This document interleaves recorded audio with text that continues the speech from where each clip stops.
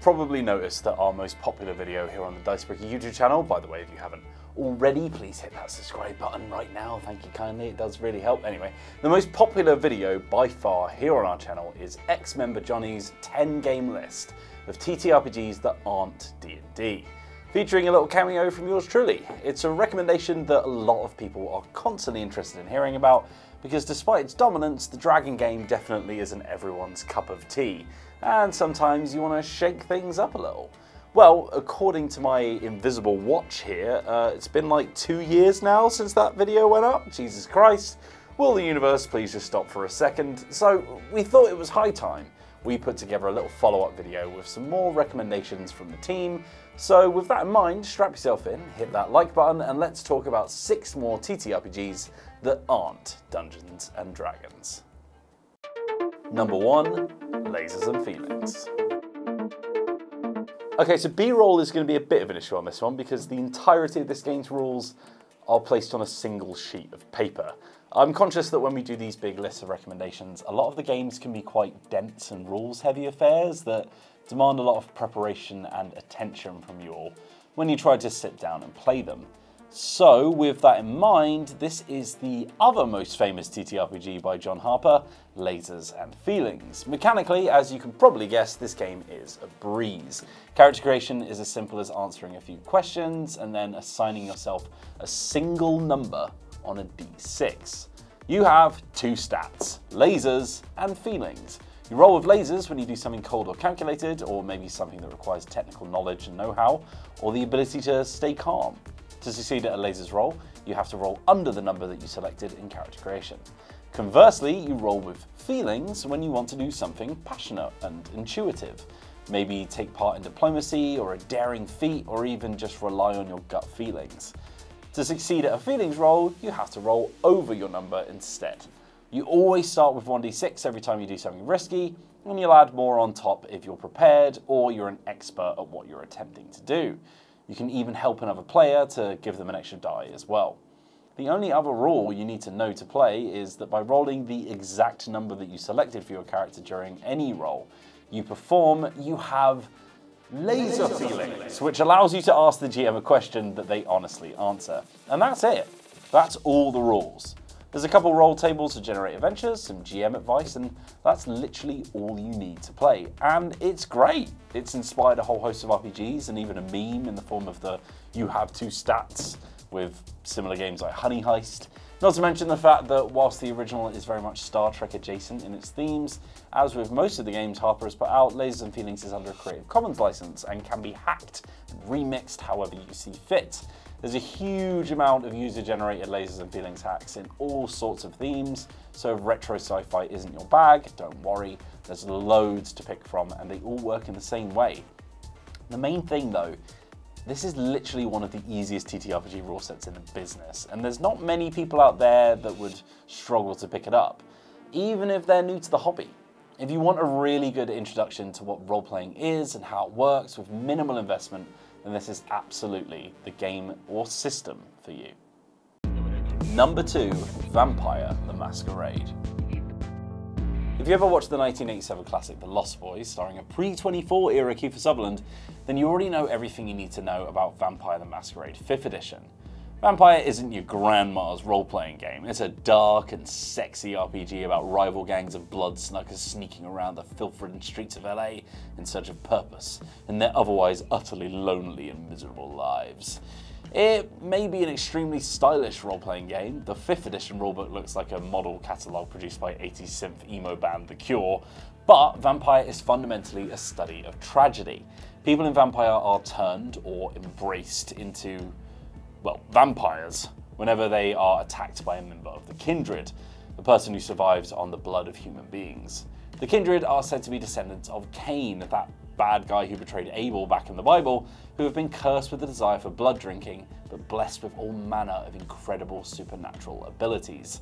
Depending on which kind of kindred term them, the player character in Vampire will be part of a different clan and will have access to different powers. For example, the Ventrue are natural leaders whom others are compelled to follow. The Toreador are incredibly charismatic. The Tremere clan are gifted with spellcasting, and the Brujah with strength. Some clans have it easier than others. The Malkavian are haunted by their abilities of foresight, which have unfortunately been attached to some disappointing perceptions on mental illness in Vampire's past, whilst the Nosferatu can't even walk on the streets because of their hideous appearance. Regardless of which clan the player characters are a part of, they must all abide by one simple rule do not break the masquerade. See, humanity doesn't yet openly know that vampires actually exist, and the Kindred want to keep it that way. It's just like Twilight, keep the whole vampire thing under wraps, and pale-faced Michael Sheen won't come after you. Sort of. How you choose to live your undead life is up to you. Murder, crime, love, redemption, it's there for the taking, but ultimately, how much of your humanity will be left after it all ends? Number 3. Lancer. It's 13,000 years in the future and the universe is on its way to a post-scarcity utopia. But the dream is still very much a work in progress, and on the fringes of civilization, there are still battles to be fought, lives to be saved, and problems to be solved. You and your crew are Lancers, members of the cavalry called into the parts of the universe that need you most to help or sometimes hinder the worlds and stations you visit. Now, whilst you're more than capable of helping out those afflicted on foot, not to mention the state-of-the-art tech and weapons that you're equipped with on your journey, the real draw of Lancer is in fact the giant stompy mechas that you all individually pilot. Lancer at its core is a fusion of two different styles of play, the very rules-light and free-flowing on-foot adventures of your pilots, and the hyper-tactical turn-based battles you'll be fighting in in your mechs. I think Lancer would be a perfect entry for someone who plays a lot of miniatures games like Battletech or even Warhammer. The turn-based hex grid tactical squad level combat is really juicy and there's a huge amount of customization to flesh out your gear. Character advancement in Lancer allows your pilot to pick up new licenses, which opens the door to an unlimited amount of tech from the relevant company. Whilst you start with a single crappy mech, you'll slowly unlock huge rosters of frames and all sorts of goodies to strap onto its arms and melt your foes with. There's big chunky boys, super speed boys, weird alien boys, you name it. And feel free to mix and match as well. Combining frames from one company and weapons from another can create some interesting and deadly combos. You just have to make sure you've got the space and power for them. Outside the mechas, handling challenges is as easy as rolling a d20. In lieu of skills and abilities, you'll instead have a simple tag system that lets you up your results based on their relevance. Say you've got a tag by the name of Quick Hands. That might be useful for some sneaky pickpocketing, but it can also serve you to help you swing through your opponent's guard in a fist fight, for example. The world of Lancer is one that doesn't rest on tired tropes.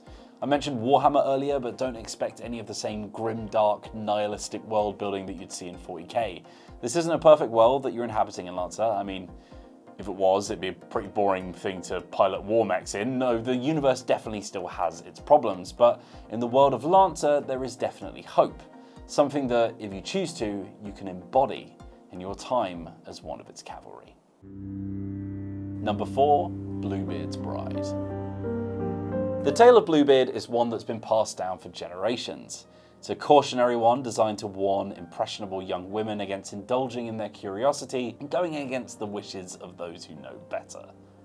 It has been since reinvented in a multitude of different ways, including an excellent version written by feminist author Angela Carter called The Bloody Chamber, with one of those reinventions being a tabletop role-playing game called Bluebeard's Bride.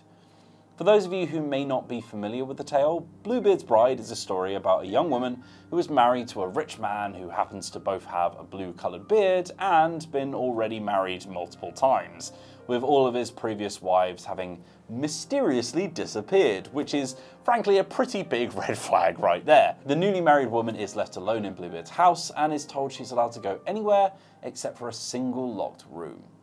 Of course, the young woman eventually goes into that room and discovers something terrible before she's gruesomely murdered by her husband.